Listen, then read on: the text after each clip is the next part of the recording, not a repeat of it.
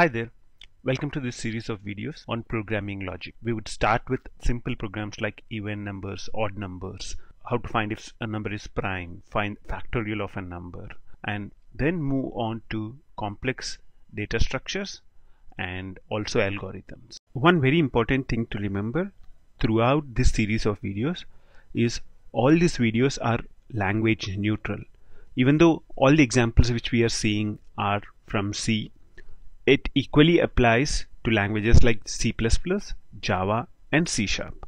If there is a difference in how things work in a different language, then that would be discussed separately. But the concepts which we discuss and the logic which we use to run the programs would be the same in all the languages. So whether you're using C, C++ or Java, these videos would be very useful to you. In this video, let's look at what happens when we declare a variable, how it is stored in memory, and also we'll look at assignment operator. These two concepts are very important if you want to get a good hold of programming logic. So uh, let's start with variable declaration. The way we declare variable is very simple, right? You would have looked at programs where this is done. Int i, this basically declares a variable. What is a variable? A variable is something which has three things. Uh, a is a type, it has a name, and it has a value. So the type of the variable which we are creating here is int. The type of the variable which uh, the name of the variable is i and the value of it uh, right now it doesn't have any value uh, if I say i is equal to 25 now I'm assigning a value to it. At the end of statement 1 where I've just declared uh, int i the value of the i would be garbage.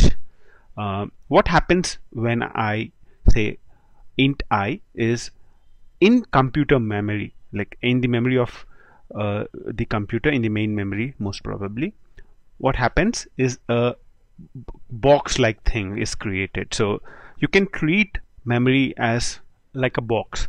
So when we start off when we create the int i this would have some garbage. So what basically happens is in this the content of this probably might be something like 1 lakh or something. Some garbage value would be present at the start. And at the end of this statement if you look at this this statement is i is equal to 25 so when we come to this statement what happens is the value of i gets overridden. So this thousand is replaced by value 25 so this is what happens when I say i is equal to 25 what happens is the value on the right hand side which is 25 it gets stored into the variable on the left hand side which is i. So whatever value whatever garbage value i had earlier would be replaced by the value which we are assigning to i which is 25 uh, similarly let's say i have a variable another variable created j. So now even j would have its separate box created. So now what happens in memory is actually a separate box is created for j. So j would have something of the same kind a box where we can store the values of j. So what happens is the value of j would be stored in this particular box. So what happens now is another box like this is created and inside this the value of j is stored. So let's say the value of initial garbage value of j is 6789 some random value which is present in memory. Uh, so now what I'm doing is I'll assign something like j is equal to 100 so what happens now when code execution comes to this line j is equal to 100 is simple. I think you'd be easily able to get it. In this box a value of 100 is stored. So let's now look at what would happen if I say i is equal to j. This is something which usually confuses people the assignment operator. The assignment operator is is equal to and people generally confuse it like new programmers generally confuse it with uh, the is equal to in mathematics. So when I actually say i is equal to j what does that mean? That does that mean the values of i and j are equal?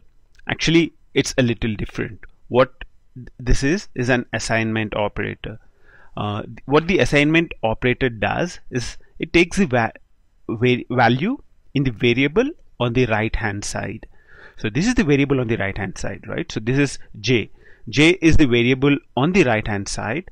So the value of j whatever value is present in j. So if you look at the value in j at this point it's 100 right? The box j contains a value 100 so what happens is the value in j is going to be put into the value in i. So since this is i i mean this is basically the box which we assumed to be i so this is i and this we know is the box j. So what happens is at this point when this line is executed when i is equal to j is executed the value whatever value is stored in j the value which should be stored in j at this point is 100 so this value 100 is stored into the value i. So what happens is the value of i 25 right now gets overridden by the value 100 so this is how the assignment operator works. Whatever value is present in the variable or the expression. When we say expression I can say i is equal to j into 2 this, what this does is the expression is evaluated. So j into 2 so value in j is 100 100 into 2 is 200 and the value would be stored into i which is 200 so now let's complicate it a little further. So what happens if I say i comma j comma k? And uh, I will not initialize k to any value. And I would come over here. Let, let okay. Let's also put some value in there. So k is equal to 50 so now I say k is equal to j is equal to i. What happens what would happen when k is equal to j is equal to i? What would be the value in k? What would be the value in j? And what would be the value in i?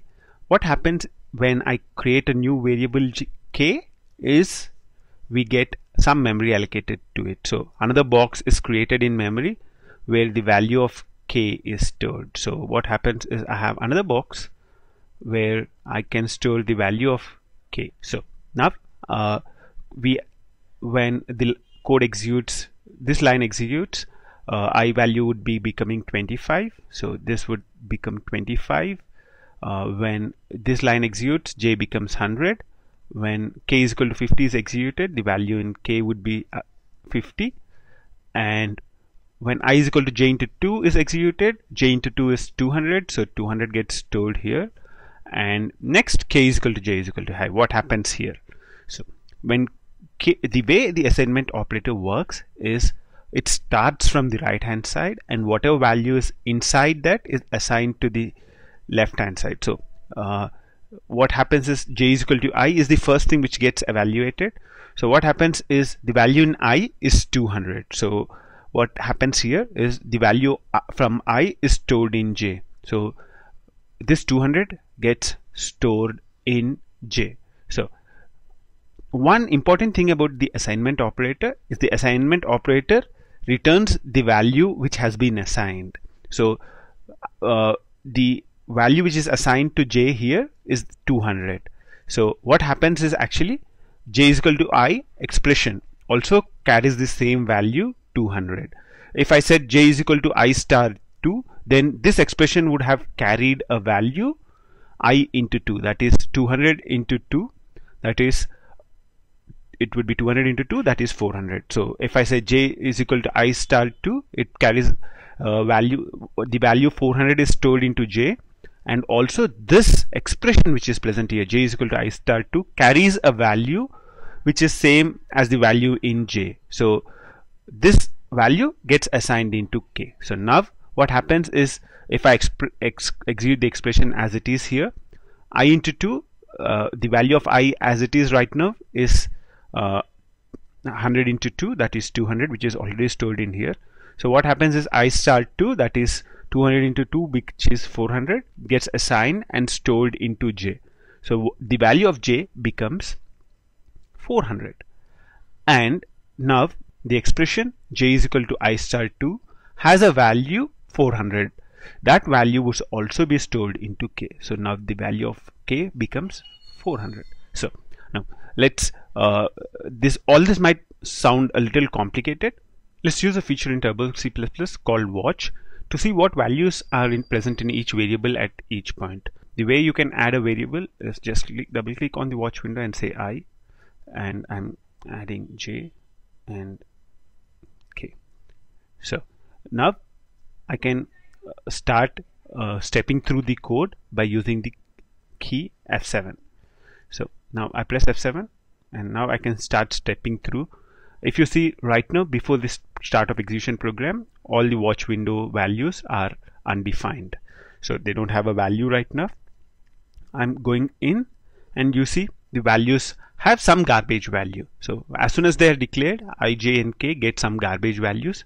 So i has a value 646 j has a value 652 some garbage value is present. So now if you see i am executing the line i is equal to 25 and the value of i now changes to 25 the value of j is going to be assigned to 100 so j is equal to 100 and k is equal to 50 so the value of k changes to 50 so now we are executing the expression i is equal to j into 2 which is the value in j is 100 100 into 2 is 200 so 200 gets stored into i. So the way assignment gets executed is the value from the right hand side expression is stored into the variable on the left hand side. So it gets stored into the variable on the left hand side and the value of i becomes 200 so now uh, if you look at this particular statement this is k is equal to j is equal to i star 2 what happens is i star 2 gets executed and then that value is stored into j and the value of j is stored into k. So uh, if you look at the values at the end of this execution i star 2 is uh, i is 200 into 2 which is 400 and the 400 gets stored into j and that value would be stored into k as well. So if you look at it uh, j and k would be changing to 400 so that's what you see. In this video we got an understanding of what happens when a variable is declared and how it's stored in memory and also how the assignment operator works. These forms the basics for understanding programming logic. This video is a little slow uh, because I wanted to make sure that you get the assignment operator absolutely perfect because it's critical to get uh, to understand the assignment operator. If you like this video, show it by clicking like or commenting or sharing this video. We are creating more videos on varied range of topics as we speak. Subscribe to stay updated. Thanks for watching. Until next time, bye.